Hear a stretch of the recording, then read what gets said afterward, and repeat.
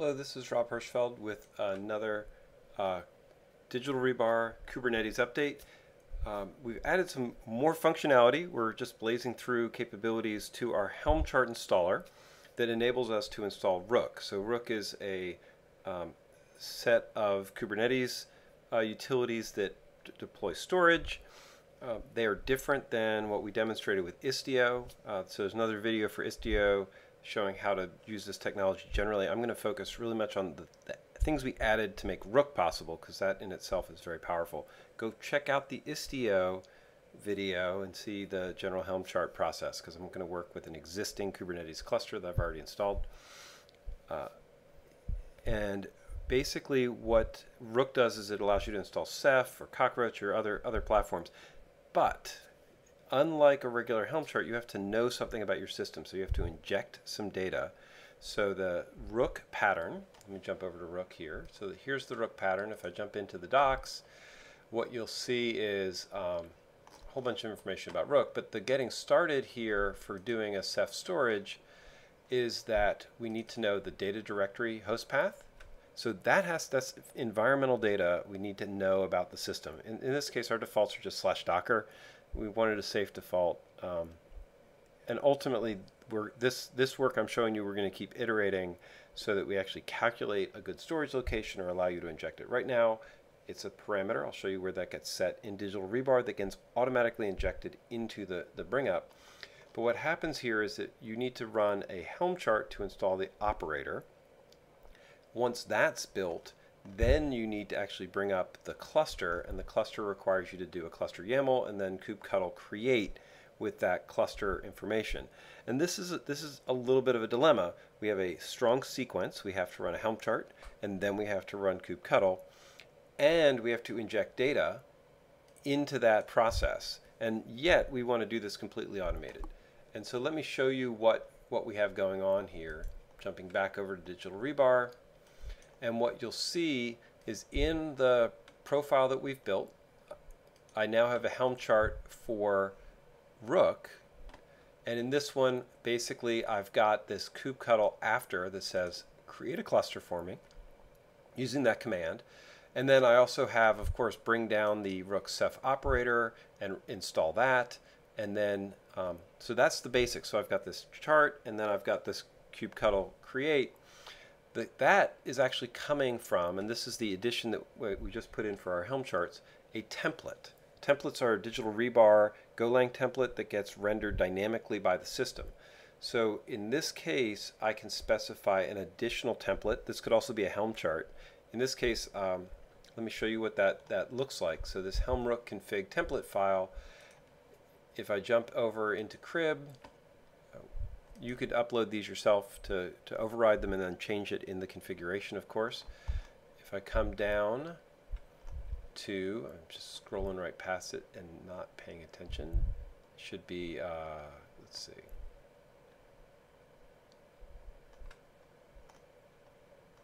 No? Oh, this is, it's in the pull request. It's not in content yet. Uh, let me show you on my local system. It'll be, when you look at this, it'll be there. But it's not there yet because my pull request hasn't been accepted. So if I look at this configuration file, this is literally just what was in the docs, so, except I pulled a more advanced version. And then when it comes down to setting the data host, it pulls in the parameter value. So it's not just this configuration file, we're actually injecting parameters there. Uh, and if you look at that parameter, nope, not that one, somewhere in here if you look at that parameter file, on, I'll do it up here,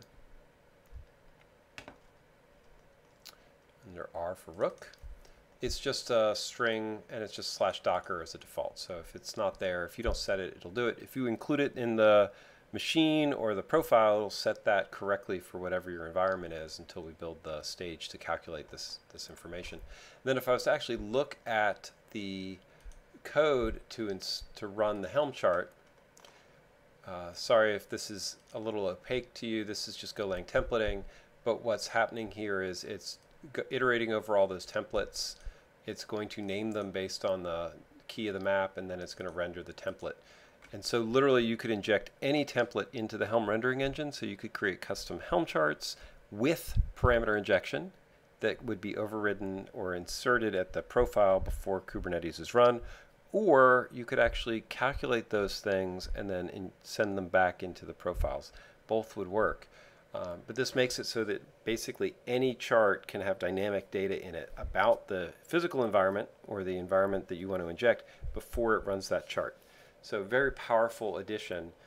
Uh, and then it just names them whatever you want, and then you just refer to it as you go. Uh, and that's pretty much what we were able to do here. So if I jump over to my jobs uh, and I find my uh, KRIB helm stage right over here, I think I, oh, I debug turned on. So there's a ton of extra data about what's going on. Yay. And uh, here you can actually see this is where we come in, we get the uh, chart, and then we, uh, a little bit above that, we build the whole uh, file, that whole configuration file.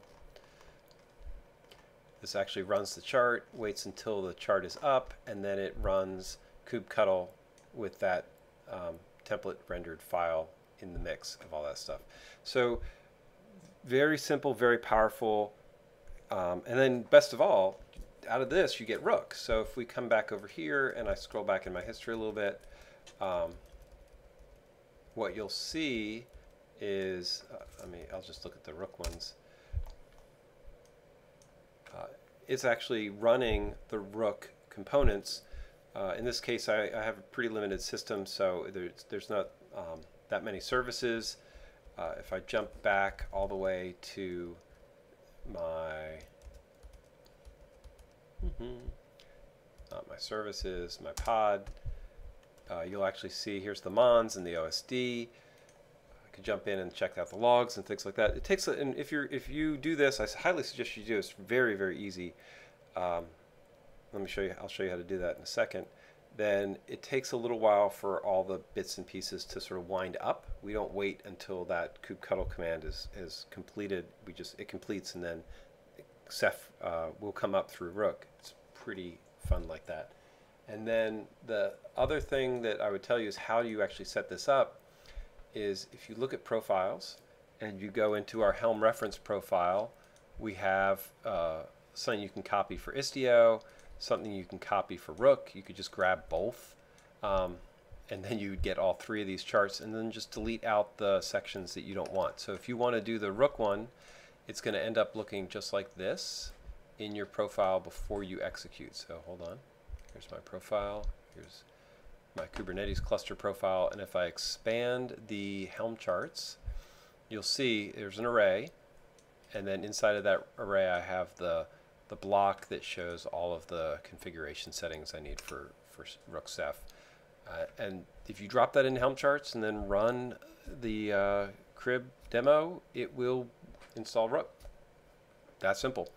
Uh, hope you give this a shot. We're really excited about these new capabilities that we've been bringing into the KRIB infrastructure because our goal is zero touch, right? Start machines, Kubernetes comes out, and now with Istio and Rook and whatever advanced Helm charts or processes you want to implement, we've been working on ways to make it uh, possible for you to play very, very quickly and easily with Kubernetes. Um, really, really taking all the, the angst and time out of uh, Kubernetes install. This is great. Please, please let us know. Uh, we'd love to, to hear your opinions on it and get your feedback and help making this better. Thanks.